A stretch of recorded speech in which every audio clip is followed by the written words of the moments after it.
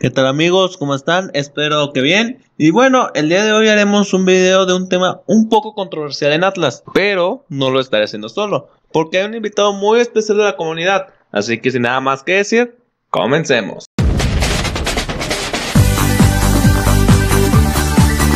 Si hay algo de lo que Atlas ha carecido durante mucho tiempo es tener un ídolo. Pero, ¿qué es un ídolo futbolísticamente? Bueno, según un artículo del diario Concepción, el término ídolo se emplea para referirse a aquellas personas que se han destacado en el ámbito deportivo o aristocrático, nacional o internacional, y que son objeto de admiración por quienes simpatizan con lo que hacen.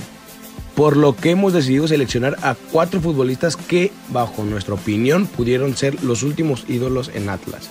Antes de comenzar, debemos aclarar que los criterios están basados en la manera de ver de Roberto Valenzuela el atleta debe ser culto y sencillo con la afición y también con el periodismo. Debe mostrar la parte humana frente a las adversidades, inyectar liderazgo a sus compañeros, respetar a sus rivales y quienes están insertos en el deporte, además de ser un ejemplo para la comunidad. Juan Pablo Vigón Juan Pablo Vigón debutó en Atlas en la Apertura 2012 pero no tuvo gran participación hasta su tercera etapa donde debutó con su primer gol en un partido ante León. Luego en 2017 decente, la gran oportunidad de Bigón llegó en el clausura 2018, donde inició como el capitán del equipo rojinegro en su cumpleaños, pero las cosas no salieron bien en ese partido. Arranca Bigón, Bigón en el tiro, ¡Volpi! Desde ese día en adelante la gente nunca compró el hecho de ver a Bigón como el capitán de los rojinegros. Aunque Bigón se mataba en la cancha, a la gente no le importaba. Pero ¿por qué pudo ser ídolo? Simple. Bigón, aunque la gente no lo aceptara, era el capitán, era el que daba la cara, era el canterano del Atlas, que la gente no aceptaba, lo cual lo convirtió en un underdog. Y por esa razón, Bigón se fue bien en su último partido, pero ya, para la gente el daño estaba hecho, la gente ya no lo quería. Miguel Pinto. El arquero chileno Miguel Ángel Pinto fue uno de los jugadores clave en la historia del Atlas. Su gran calidad como arquero lo hizo sobresalir defendiendo el marco rojinegro, estando en los momentos más oscuros del club, pero también en los más importantes para los rojinegros, siendo una pieza fundamental en todos los torneos clave en donde Atlas peleaba por la permanencia en primera división. Todo esto hizo que la gente de Atlas tuviera un gran cariño al portero chileno. Incluso cuando salió de la institución rojinegra, la fiel no le agradó eso. Y que luego llegara Federico Vilar al cuadro atlista. La gente pedía que se fuera a Vilar y regresara a Pinto. Pero ¿por qué no se convirtió en ídolo? Simple. Cuando Tomás Bue salió de la institución rojinegra, llegó Matosas para traer de regreso a Miguel Ángel Pinto. Lo cual la gente aprobó era un regreso soñado pero conforme pasaron las jornadas, Pinto empezó a bajar la calidad a tal grado que solo jugó 7 partidos para luego perder la titularidad ante Miguel Ángel Fraga.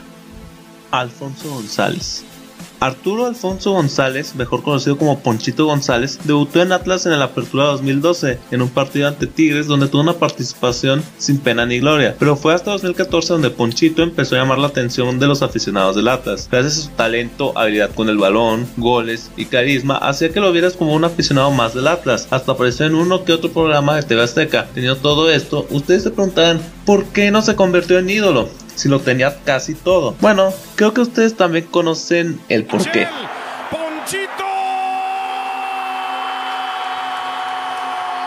Desde ese penal fallado en el clásico tapatío, Ponchito pasó a convertirse en un futuro ídolo en el villano más grande de la era de Tomás Boy. Con esto y las constantes lesiones, las fotos de él en una fiesta, mató por completo todas las esperanzas de la fiel en Ponchito hasta su salida a Rayados de Monterrey.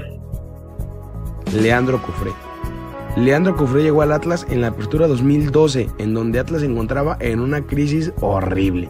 A su llegada al Atlas tomó el mando de capitán, con su liderazgo, entrega y amor por la camiseta rojinegra, hizo que rápidamente la afición rojinegra le tuviera un gran cariño, siendo relevante en las cinco temporadas que estuvo con Atlas, hasta su salida, donde incluso en su último partido en el Estadio Jalisco, la Fiel le dio una gran ovación y despedida, para que así en su último año jugara con los Leones Negros. Rafa Márquez. Rafael Márquez Álvarez debutó en Atlas en 1996, donde fue perteneciente a la generación de 1999, pero lo que más sobresalía era el carácter y liderazgo que este tenía a su joven edad. La gran joya de la cantera rojinegra, Márquez triunfó en Europa con el Mónaco francés y con el Barcelona, además de ser uno de los grandes capitanes de la selección mexicana. Pero eso ya la mayoría lo sabe, Rafa es un gran estandarte de los rojinegros y cuando regresó la gente enloqueció, aunque de hecho antes de regresar a Atlas se fue a León donde obtuvo el bicampeonato de Matosas con el equipo de la Fiera, cosa que la gente intenta olvidar. Rafa regresó en 2016 justo cuando se preparaba la fecha del centenario rojinegro. Rafa estuvo dos años en Atlas donde en varias ocasiones fue héroe como villano. Aún así el cariño que Rafa tenía al Atlas era increíble hasta el día de su retiro en el Estadio Jalisco, donde entró y fue ovacionado por la fusión del Atlas.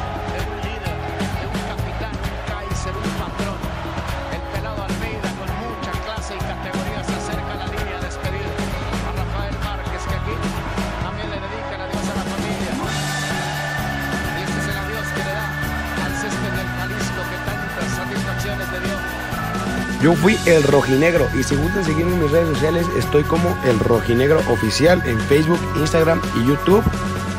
Y recuerden, yo estoy en el estadio cada 15 días para apoyar a los rojinegros del Atlas. Y bueno amigos, esto fue todo. Espero que el video les haya gustado. Si fue así, denle un like, compártanlo con sus amigos, no olviden suscribirse y síganme en mis redes sociales para estar pendientes de cualquier notificación del canal. Ya me conocen, yo soy cualquier aficionado rojinegro y Recuerden, mil veces arriba el Atlas, aunque me